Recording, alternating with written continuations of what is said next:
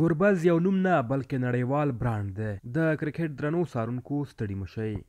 د هند مشهور مبصر مشرا صاحب وايي، ګوربز یو نوم نه، بلکې نړیوال برانډ دی. هغه څوک چې ورځ تر بلې د پرمختګ حالت کې لیدل کېږي او هغه څوک چې په پوره مانا د خپلو اشتباهاتو زده کړه کوي. ګوربز هغه لوبغاړی دی چې د سترو او غښتلو سینا لوبډلو پر وړاندې خپل کمال څرګند کړ او دوی ډېر ارام ولوبول.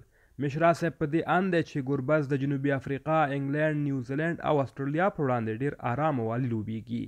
درې لوبو کې د لوبې د غوره لوبغاړي او د سریز د بهترینه لوبغاړي جایزې ګربز خپلې کړې او تر بل هر افغان بیا دغه برخه کې مخکښ دی. د سریز د غوره لوبغاړي له ټاکل کېدو وروسته ابراهیم ځدران بیا وویل، خوشحاله یم چې زما ملګری د سیریز غوره لوبغاړی ونومول شو. ابراهیم ځدران چې د افغانستان د بیټنګ برخه کې د ملا تیر یادیږي، د ساوت افریقا پر وړاندې لوبلړۍ کې نه و. نوموړی د نیوزیلنډ پر وړاندې د ټیسټ لوبې تمرین پر مهال ژوبل شوی و، چې له هماغې وروسته له کرکټ لرې پاتې شو. تازه یې په انګلینډ کې د پښې عملیات وکړل او ډاکټر ورته د لس اونیو د ارام ویلي. د لس اونیو وروسته به یو ځل بیا د ګربز د اوپننګ جوړه نړیوال کرکټ ته راوګرځي. همدارنګه تازه د یو ورځنیو لوبو د بیټنګ په درجه بندۍ کې رحمان الله ګربز د لس غوره لوبغاړو په قطار کې هم راغلی.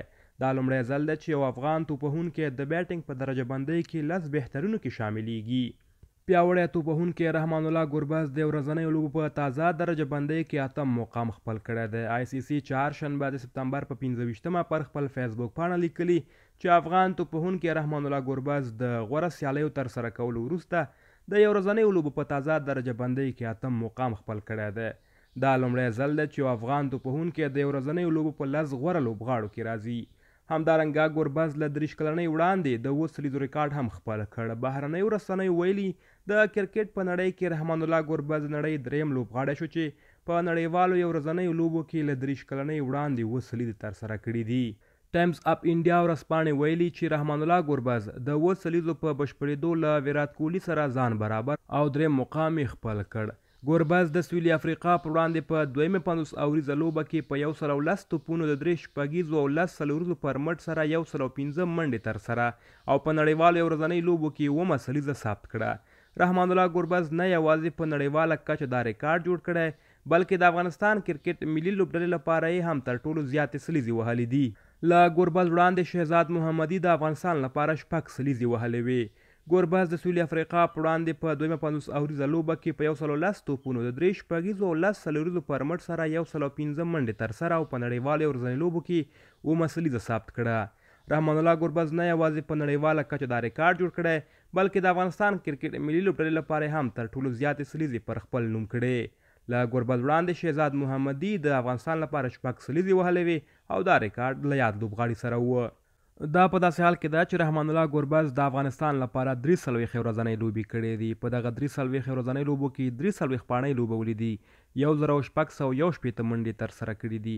په یو لوبه کې یې تر ټولو ډېرې منډې یو سل او یو پنځوس دي، نهه دېرش اعشاریه څلور پنځوس اوریج سره یو زره او اته سوه او څلور شپېته توپونه یې لوبولي دي، نهه اتیا اعشاریه لس سټرایک ریټ سره، اووه سلیزې لري، شپږ پنځوسیزې لري، یو سل او درې پنځوس څلوریزې یې ترسره کړي دي، شپېته یې هم شپږیزې ترسره کړي دي، دوه یې شک کیچونه نیولي، دوه یې هم سټمپ اوټونه کړي دي. د یو ورځنیو لوبو درجه بندۍ کې بیا رحمان الله ګربز سره راشد خان هم مخ ته راغلی. د کرکټ یو ورځنیو لوبو په نړیواله درجه بندۍ کې د توپوهنې په برخه کې رحمان الله ګربز لس ګامه مخ ته تګ کړی، او په لومړي ځل اتم ځای ته رسېدلی دی. د توپوهنې په برخه کې لومړی ځای د پاکستاني لوبغاړي بابر اعظم، دویم له هندي لوبغاړي روهیت شرما او درېیم ځای له هندي لوبغاړي شبمن ګل سره دی. د یو ورځنیو سیالیو د توپ اچونې په برخه کې بیا راشد خان اته ګامه مخته تللی او درېیم ځای یې نیولی دی. راشد خان له سویلي افریقا سره په وروستیو دوه لوبو کې اووه وېکټې اخیستې وې. د یو ورځنیو سیالیو د توپ اچونې برخې تر ټولو مخکښ لوبغاړی د سویلي افریقا مهراجا دی، دویم ځای بیا د اسټرلیا ادم زیمپا نیولی دی.